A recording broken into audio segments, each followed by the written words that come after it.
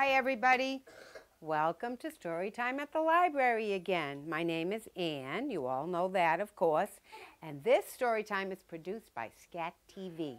So, you're all going to be on TV. So, if you want to turn around and say hello, then we'll get down to business. Want to say hi to everybody in the audience? Hi. Okay. I have some really fun stories today. I hope you'll think they're really fun. Some of these are my very favorite stories. And I am going to start with Lizard's Song. Remember You remember this book? too. Good. And guess what? Do you remember when I read this book one time? You guys loved it. Loved it. And you said, Can you read that again? And now I am. Are you ready? Lizard lived in the mountains of the West. He liked it there and he lived on a big flat rock. He was so happy living there that he often made up songs.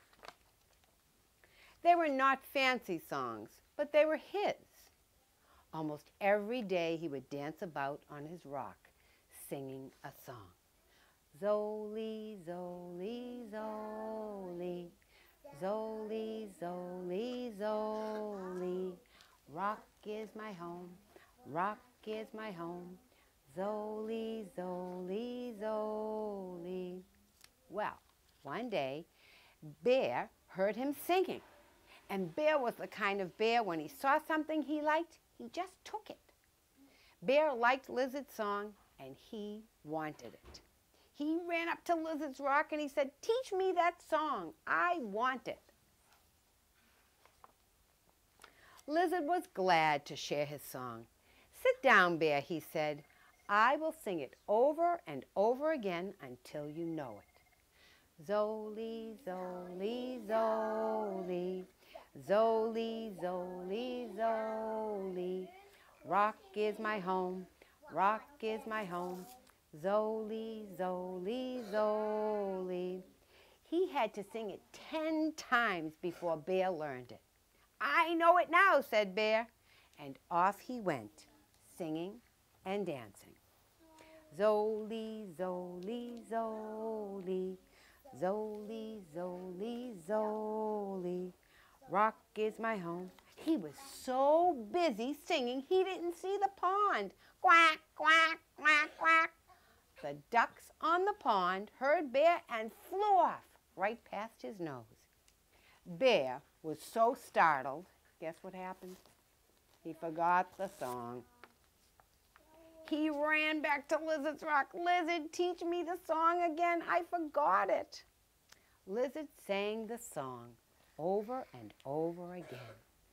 Zoli, Zoli, Zoli. And after the twelfth time, Bear said, I know it now.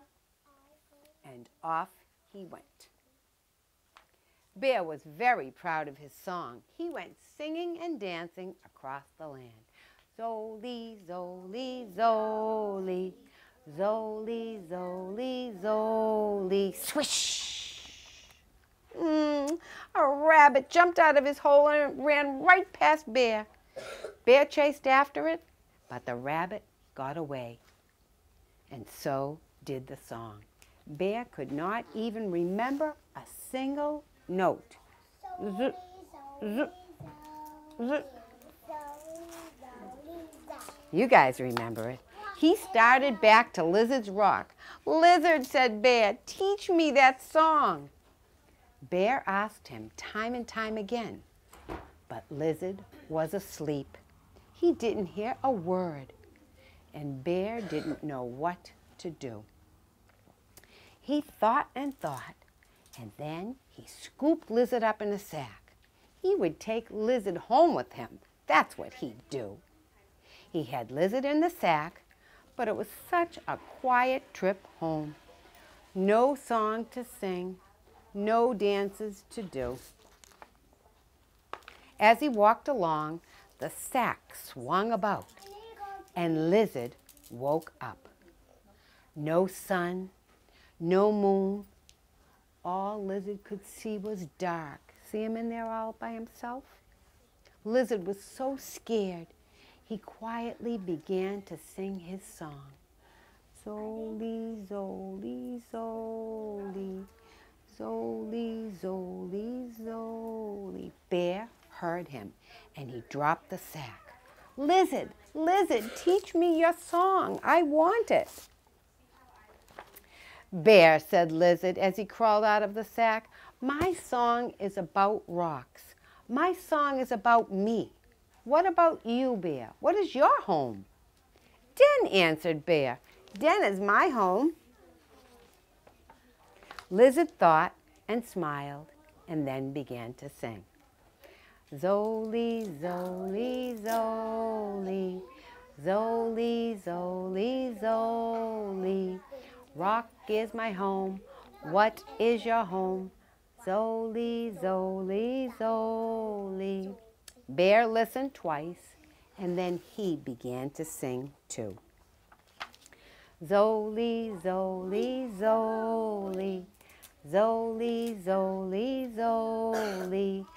Den is my home, Den is my home.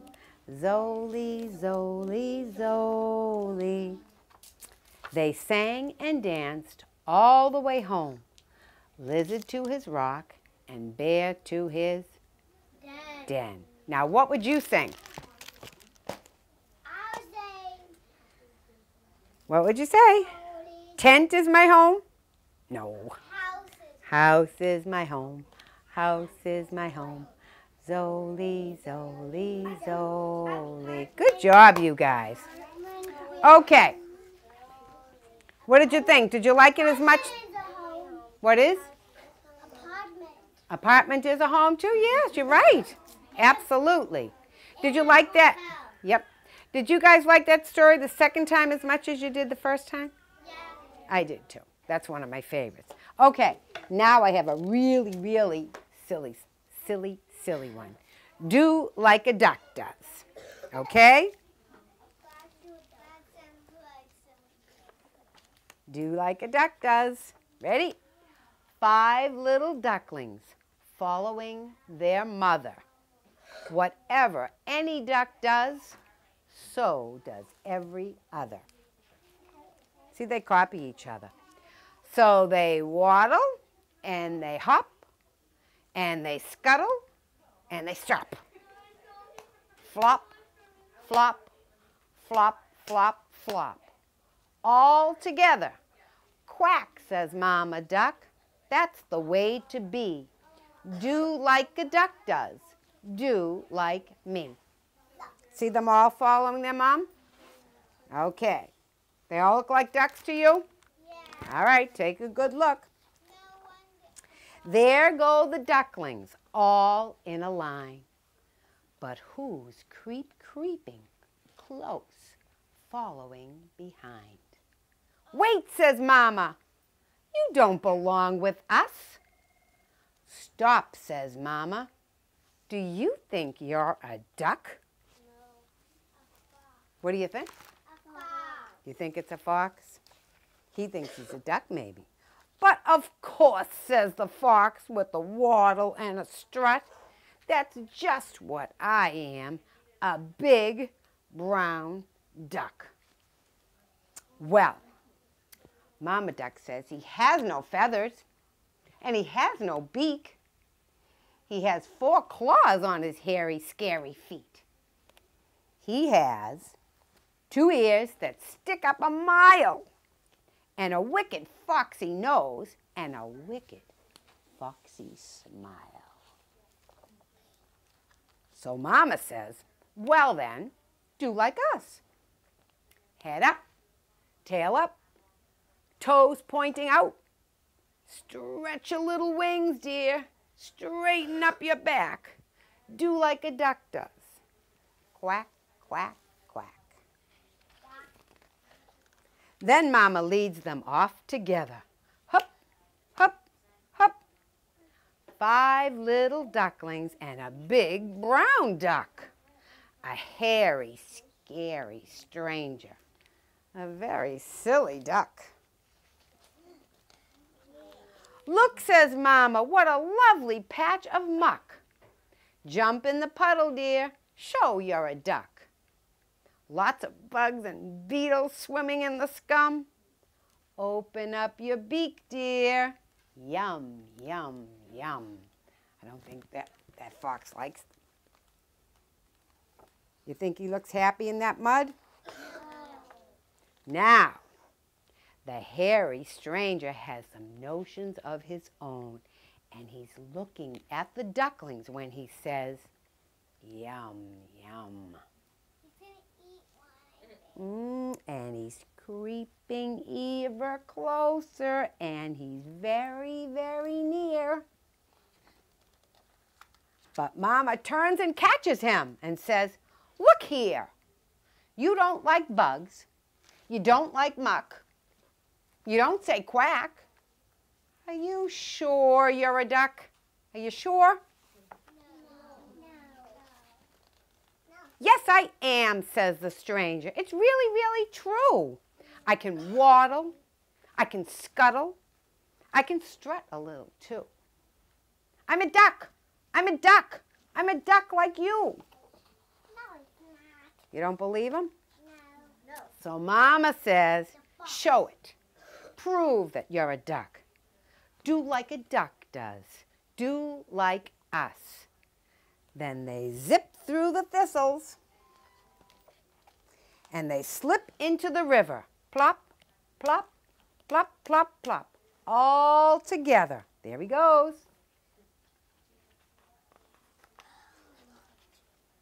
Down go the ducklings. All their tails are up. And down goes the stranger. Glop, glop, glop. Uh-oh, he's not coming back up like the ducks. So where are all the ducklings now? Here they all come. Back up. Pop, pop, pop, pop, pop. Every one. But where's the very hairy, scary stranger? Gone home? Look at him. Well, says Mama, what a bit of luck. But I really always knew that was no duck. And that's the end.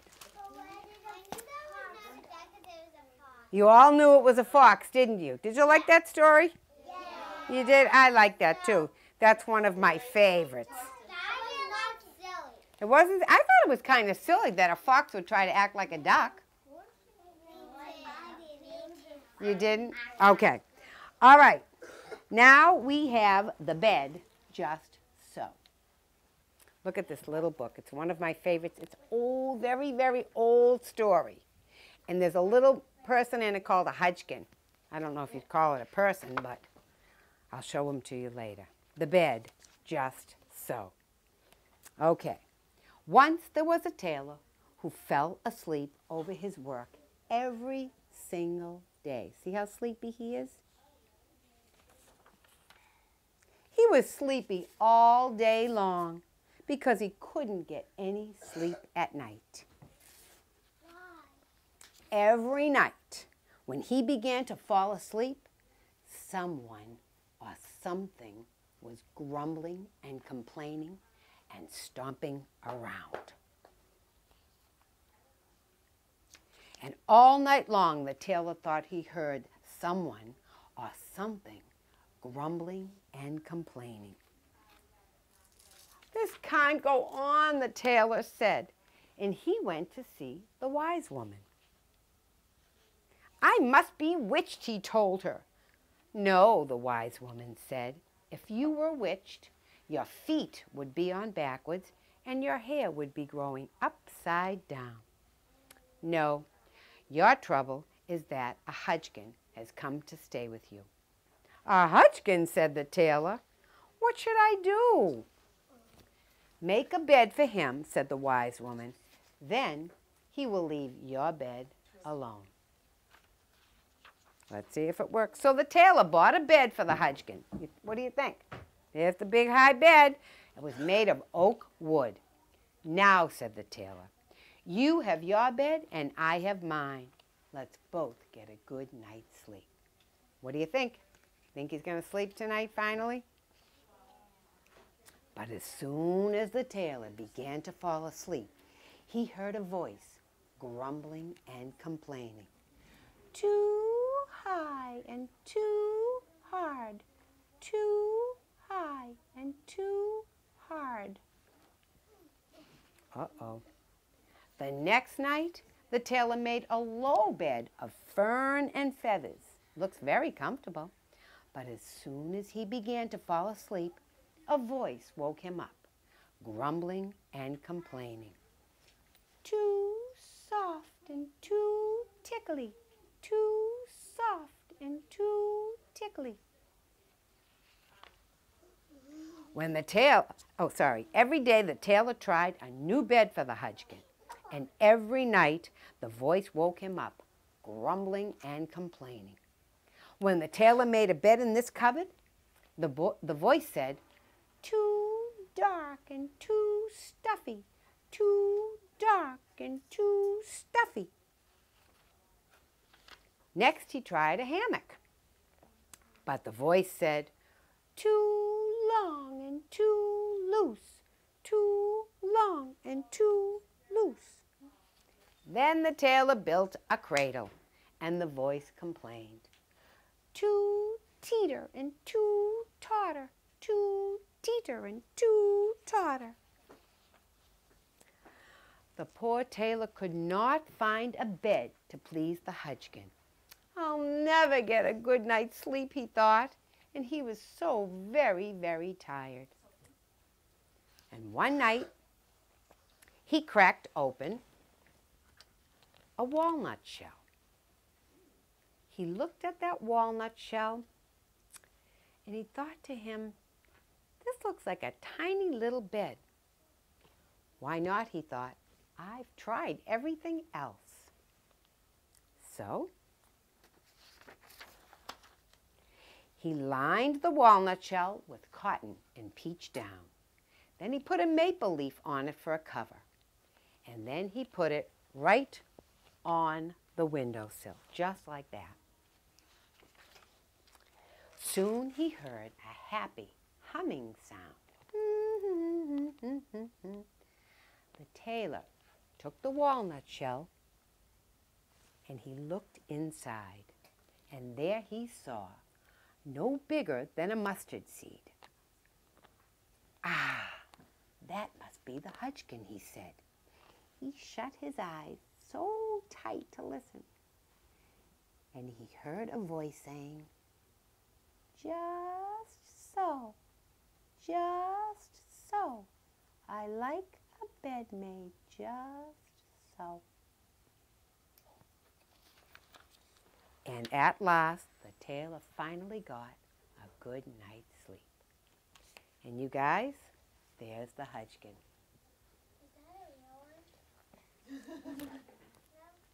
Want to come and see it quickly? Don't touch him, though. Sure. We can take a good look after story time, too. But you, see him? Remember they said no bigger than a mustard seed. See how teeny he is? That's why he wanted a little tiny bed. Yep, just like this. That was perfect for him. What did he say? Just so. Just so. I like a bed made just so. That was one of your favorite books? No. Oh. did, any, did you guys like that story? Thumbs down. I thumbs down for the Hudgkin? Thumbs up. I say thumbs up too. Up. Okay. Thumbs in the middle. All right. Are you ready? You guys No. Oh wait. You know what? I want to do mouse tails next. Okay. You think you guys can tell me what kind of an animal? If you just see the tail of something, do you think you can do that? We already did that one. I know. What do you think, though? You think you'll be able to tell me the tail? Yeah. I don't think so. I think I can. You think so? All right. Ready? I am a small mouse, and I happen to be an expert on tails, as you will soon see. Let's look for some tails. We'll search everywhere. And when we have found one, we'll guess who is there. No peeking now. All right? No peeking. Okay. I I'm going to guess fox. It's loyal and smart, and it makes a great pet. Well, maybe I'm wrong. If you touch its small nose, you will find that it's wet. Can you guess whose tail that is? You sure? Not a fox? All right, you guys tell me what it is. I, I guess fox, and I'm probably wrong. Ready? You're right. It's a dog, and his name is Sam. So you're right now. You're one ahead of me. All right. Let's see. Oh, you'll never get this one. With rings round its tail and a mask on his face. It will scatter your rubbish, rubbish all over the place. Can you guess what it is?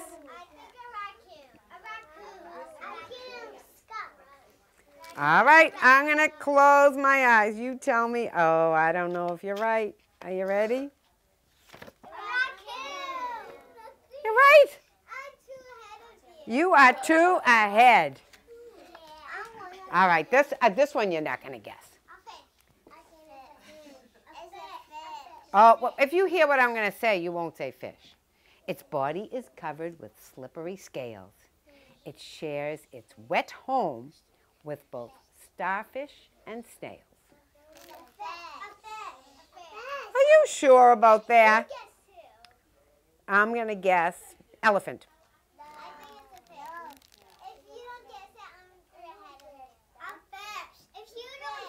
When I open this, it's going to be an elephant.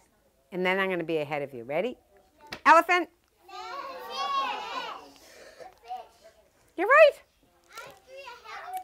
Three, three ahead of me. I guess I'm not a very good guesser, am I? Oh, no way. With black and white stripes from its head to its toe. It looks like a horse, but it isn't, you know. What do you think it is? I think, no, it's a horse. I'm going to say horse. A skunk? And zebra. Up.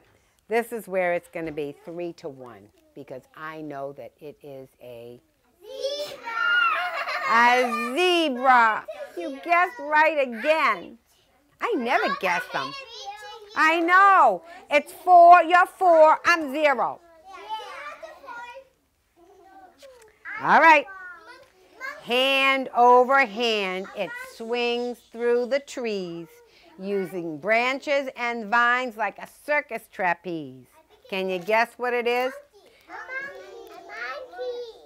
Oh, you put cat. Did you ever see a cat? Don't you see cats in trees?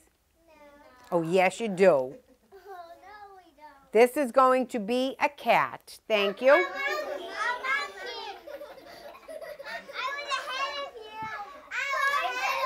Now what is it? Five to zero. I'm a terrible guesser. Oh, this one's this one's really simple. No. Inside a big circus tent full of fresh hay, I found a large creature, all wrinkled and gray. Can you guess what it is? No, you know what, guys? This really hippopotamus. I'm going with hippo. And now it's going to be five to one because this is a elephant. Oh my goodness. Ha! You know what he said though? I fooled you. That's not a tail, it's my nose. An elephant's nose. I fooled you I you did. Oh, this is a really hard one. The spines on its back are long, are long, sharp, and prickly. And if it gets angry, you better run quick. Can you guess what it is? I'm not going to tell. Crocodile. Ready to see the crocodile, everybody? Now it's going to be six to one or seven to one? Seven to zero. A oh. porcupine again. What was that? Was that a eight to Eight to zero now. no seven to zero? Eight to zero. I think that's a kite. With a big ball of string and a strong summer breeze, this tail can fly over the tallest of trees. I saw an animal with that kind of a tail. I can't remember what it is though. A kite. A kite. I'm gonna. I think I'm gonna say monkey. Once I saw a monkey with all kinds of bows on its tail, so I'm gonna say monkey. And it is a monkey. Kite. Kite. Yay! Nine to zero. Oh my goodness! Nine to zero. All right. Oh, you're not gonna get this one. Its long wrinkled snout is both pinkish and plump. There's a short curly tail at the end of its rump. Can you guess what it is? I think it's a dog myself. You think it's gonna? You think it's gonna be? A, oh, you guys, you're not very good guessers. This is definitely a dog. Ready?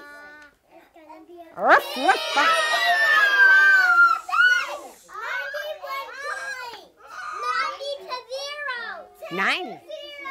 Ten. All right. A more beautiful bird could never be found with feathers so long they trail on the ground. I know this one. Can you guess what this is? A peacock? A peacock. A peacock? I think it's a cardinal. Okay, let's see. okay. Who thinks it's a peacock? Me. And who wants to guess with me and say cardinal? You do? Ready?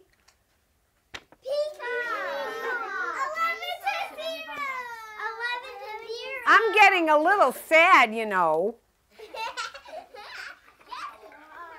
I sat on a hilltop one cold, starry night. My eyes searched the sky for a big streak of light. Can you guess what it is? You think it's a comet? I, I think it's a fire. We're going to see. It is a comet.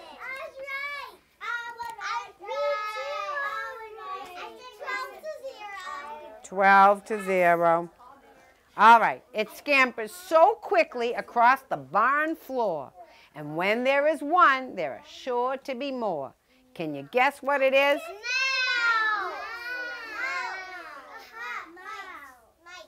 Mice? Ooh. I think it's a squirrel because they scamper very quickly. I know that you're going to say this time squirrel so that I can be one, just one right guess. And guess what? They, this is the family. Meg, Mortimer, Melvin, Mary, Milton, Mimi, Molly, Mark, and Mother Mouse. And that's the end of my tale. Get it? Yeah. You were zero. I was zero. I guess you guys are Thirteen. you guys are gonna have to teach me how to guess a little bit better, don't you think? No. I didn't do so well, did I? Yes. Okay. I won't even help you. I won't. Me. Right. No one's gonna help me? Okay, we, we're going to do Ask Mr. Bear. It's quick and it's fun and see if it's a, kind of a guessing thing. Maybe you'll guess what he gives to his mom. Ask Mr. Bear. Are you ready? Once there was a boy named Danny, and Danny's mom had a birthday. And Danny said to himself, What shall I give my mother for her birthday? So Danny started out to see what he could find. He walked along and met a hen. Good morning, Mrs. Hen, said Danny. Can you give me something for my mother's birthday? Cluck, cluck, said the hen. But she has an egg. Let's see what we can find then, said Hen. So Danny and the hen skipped along until they met a goose. Good morning, Mrs. Goose, said Danny. Can you give me something for my mother's birthday? Honk, honk, said the goose. I can give you some nice feathers to make a fine pillow for your mother's birthday. Oh, thank you, said Danny, but she has a pillow. So Danny and the hen and the goose all hopped along until they met a goat. Good morning, Mrs. Goat, said Danny. Can you give me something for my mother's birthday? Nah, nah, said the goat. I can give you milk for making cheese. Oh, thank you, said Danny, but she has some cheese. Well, let's see what we can find. So Danny and the hen and the goose and the goat all galloped along until she met they met a sheep. Good morning, Mrs. Sheep, said Danny. Can you give me something for my mother's birthday? Bah, bah, said the sheep. I can give you some wool to make a nice warm blanket. Thank you, said Danny, but she already has a blanket. Let's see what we can find then. So Danny and the hen and the goose and the goat and the sheep all trotted along until they met a cow. Good morning, Mrs. Cow, said Danny. Can you give me something for my mother's birthday? Moo, said the cow. I can give you some milk and cream. Thank you, said Danny, but she has milk and cream. Then ask Mr. Bear, said Cow. He lives in the woods, way over in the hill. All right, said Danny. Let's go and ask Mr. Bear. Mm-mm, said the hen. Mm-mm, said the goat. No, said that goose. Uh-uh, said the sheep. No, no, said the cow. So Danny went alone to find Mr. Bear. He ran and ran and ran until he came to a hill, and he walked and walked and walked until he came to the woods. And there he met who? Bear. Good morning, Mr. Bear, said Danny. Can you give me something for my mother's birthday? Hmm, hmm. I have nothing to give you for your mother's birthday, but I can tell you something you can give to her. So Mr. Bear whispered a secret into Danny's ear. Oh, said Danny, thank you, Mr. Bear. Then he ran through the woods and he skipped down the hill and then he came to his house. Guess what I have for your birthday, Danny said to his mother. So his mother tried to guess. Is it an egg? No. No. Is it a pillow? No. No. Is it cheese? No. Nope. Is it a blanket? No. Nope, not a blanket. Is it milk or cream? No. His mother could not guess at all. So, Danny gave his mother a big birthday bear hug. And that's the end. I guess that was a surprise. That was the surprise. So I'm so glad that you guys came to story time today. Again, this was produced by Scat TV. Now read out of it. Well, story time is over now. Okay? But we will we'll read that book next time. All right? Is that okay? We read a lot of books today. Let's count how many. One, two, three, four, five books. That's not a lot. Not too bad. But Ten bucks. I was about- ten books. You need a lot of time for ten books. Everybody wave. Everybody wave and say goodbye.